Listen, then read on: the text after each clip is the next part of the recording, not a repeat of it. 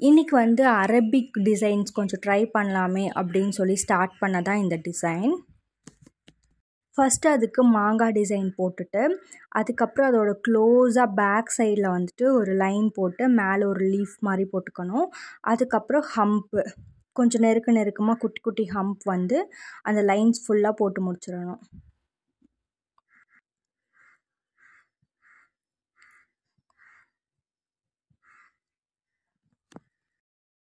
அடுத்தது பார்த்திங்கன்னா நம்ம மாங்காய் டிசைனே த்ரீ போட்டு போட்டோம் இல்லையா? ஸோ அந்த டிசைனை போட்டுட்டு ஒரு எண்டை வந்து அந்த ஹம்போட அந்த எண்ட்லேயும் இன்னொன்று வந்து டாப்லேயும் வந்து ஜாயின் பண்ணிக்கணும். அதுக்கப்புறம் ஸ்ட்ரோக்ஸ் போடணும். ஸோ அந்த கேப் ஃபில் பண்ணுறதுக்கு எத்தனை ஸ்ட்ரோக்ஸ் போட முடியுமோ அத்தனை ஸ்ட்ரோக்ஸ் போட்டுக்கணும். ஸோ அதுக்கப்புறம் அதே மாதிரி அந்த மாங்காய் டிசைனோட பாட்டம்லேயும் ஸ்ட்ரோக்ஸ் வந்து போட்டுக்கணும்.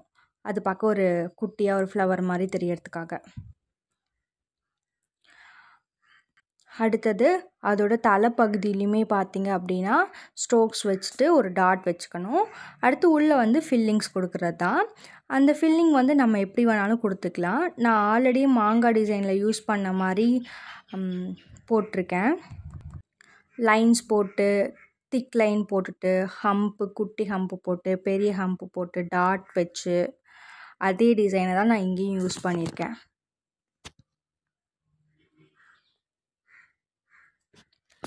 கீழே வந்து பெருசாக ஒரு லைன் போட்டுட்டு பெரிய கேப் இருக்கும்போது அதில் வந்து கட்டம் மாதிரி போட்டுட்டு ஒரு கட்டம் விட்டு ஒரு கட்டம் வந்து ஃபில் பண்ணிக்கிட்டேன். ஸோ அடுத்தது த்ரீ மாங்காய் டிசைனுக்கும் அதே மாதிரி தான். லைன்ஸ் போட்டு ஒரு லைன் விட்டு ஒரு லைன் ஃபில் பண்ணிவிட்டு குட்டி ஹம்ப்பு அதுக்கப்புறம் எகெயின் ரெண்டு கோடு போட்டுட்டு மறுபடியும் இன்னொரு லைன் போட்டு குட்டி ஹம்பை அந்த மாதிரி ரிப்பீட் பண்ணிட்டே வந்துட்டு ஃபைனலாக பார்த்தீங்கன்னா ஒரு லைன் போட்டு அதுக்குள்ளே ஃபில்லிங்ஸ் கொடுத்துட்டு அதுக்கப்புறம் ஒரு லைன் போட்டு மீதி எல்லாமே வந்துட்டு வேர்ட்டிக்கல் லைனாக போட்டுட்டு உள்ளே வந்து டாட் வச்சிட்டேன்.